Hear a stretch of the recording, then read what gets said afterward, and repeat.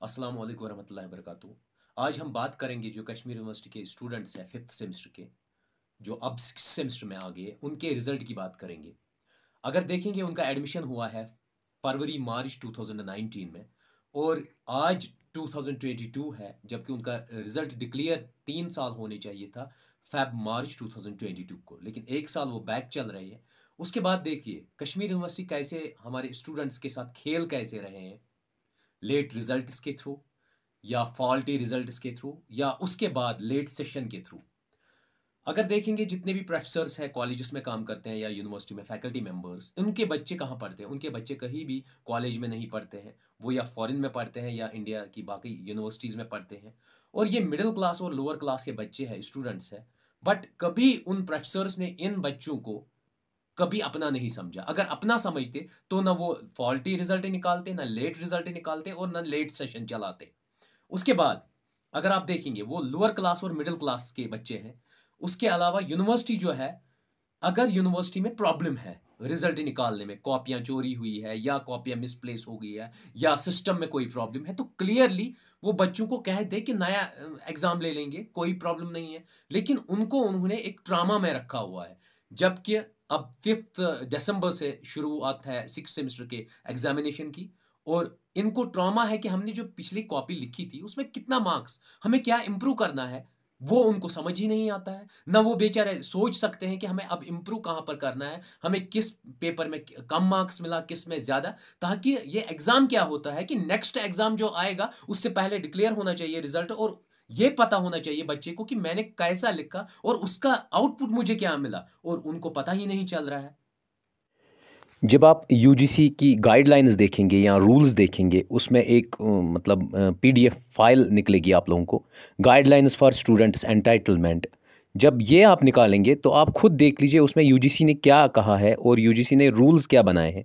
UGC ने उसमें 2.5 में लिखा है सीधे the student are entitled to fair transparent and timely evaluation including fair provisions for timely rechecking or evaluation of the scripts and redressal of any grievance related to the evaluation process. The students are entitled to a copy of their answer script after the declaration of result. ये clear cut कहा गया है UGC के rules में और regulations में, लेकिन तब भी देख लीजिए कश्मीर यूनिवर्सिटी कैसे वायलेट कर रही है। सीधे कहा है कि टाइमली इवॉल्वेशन और एक रूल में ये भी है कि विद इन फोर्टी डेज़ आपको रिज़ल्ट डिक्लेयर करना ही करना है। लेकिन अभी तक अगर देखेंगे, आठ अगस्त को लास्ट हुआ है मतलब लास्ट एग्जामिनेशन था फिफ्थ सेमेस्टर का। अब आप फिफ्थ सेमेस्टर के डेट शीट पे नज़र डाल दीजिए। आठ अगस्त को लास्ट पेपर था और आज कम से कम आने वाला है आठ दिसंबर मीनस वन ट्वेंटी डेज़ होने वाले हैं। जब से लास्ट पेपर होता है within forty days UGC का गाइडलाइन है विद इन फोर्टी डेज़ आपको डिक्लेयर करना है रिज़ल्ट लेकिन विद इन फोर्टी डेज़ भी नहीं हुआ वन ट्वेंटी डेज़ होने वाले हैं मीनस छः महीने होने वाले हैं, अभी तक फिफ्थ सेमेस्टर का डिक्लेयर नहीं हुआ रिज़ल्ट जबकि पाँच दिसंबर से सिक्स सेमेस्टर का पहला पेपर स्टार्ट है। अब वो स्टूडेंट्स जो पढ़ाई कर रहे थे फिफ्थ सेमेस्टर की, अब उनने वो उसका एग्ज़ाम दिया, उनका सोच था ये कि हमारा रिज़ल्ट कैसे निकलेगा और किस पोजिशन में हम होंगे, हमें इम्प्रूव करने की ज़रूरत है, हमें क्या करने करने की ज़रूरत है, लेकिन अभी तक कश्मीर यूनिवर्सिटी ने उनका रिज़ल्ट डिक्लेयर नहीं किया और चंद स्टूडेंट्स तो और भी डिप्रेशन में है कि अब हम फिफ्थ से एग्जामिनेशन सिक्स सेमेस्टर का स्टार्ट हो रहा है, अब हम वो कैसे फेस करें? क्योंकि पहले तो रिज़ल्ट क्लियर ही नहीं है कि क्या पता कैसे किया, क्या नहीं किया तो यूनिवर्सिटी को चाहिए था कि विद इन द स्टूबिट ऑफ़ टाइम उनको निकालना चाहिए, क्योंकि जब यूजीसी की गाइडलाइंस है ट्रांसपेरेंट एंड टाइमली इवाल्वेशन होनी है और वो तो नहीं हो रही है। उसके बाद अगर फिर कॉपी के लिए आंसर शीट के लिए कोई अप्लाई करता है कि मुझे आंसर शीट दे दिया जाए कि मैंने क्या लिखा, वो भी नहीं देते हैं वो। अब मेरी हम्बर रिक्वेस्ट है यूनिवर्सिटी के एडमिनिस्ट्रेटिव ऑफिसर्स से जो भी कंडक्ट कराते हैं एग्ज़ाम और इवॉल्वेशन स्टेटस में बैठे हुए लोग हैं वाइस चांसलर है वहाँ के, उनसे मेरी रिक्वेस्ट है कि इन बच्चों को अपने बच्चों की तरह ट्रीट कर लीजिए।